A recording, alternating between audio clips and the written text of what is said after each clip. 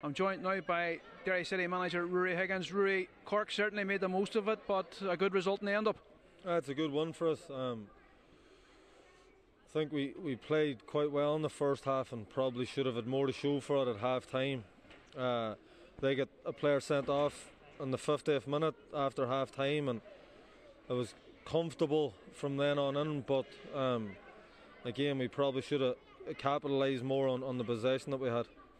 Will Patching missed a penalty two weeks ago. He certainly showed faith in him, giving him to step up to the mark tonight, and he proved it from 12 yards. Aye, well, he, it's the first penalty he's missed um, that I've ever seen him miss, so we're not going to take the ball off him, and, and, and the, uh, he stepped up and put it in the top corner.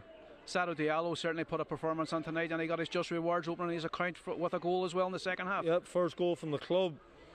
We know that he can control matches, but we also feel that he has a, a creative edge to him, and when he gets higher up the pitch, he can make things happen as well. So um, we're delighted we, we, we how he started his career at the club, and uh, long may it continue. You're on now to the quarterfinals. Who would you like to see, and where? uh, listen, uh, I'm only thinking about Shelbourne now, to be honest. Um, aye, so I don't listen. We'll see. We'll see who we get.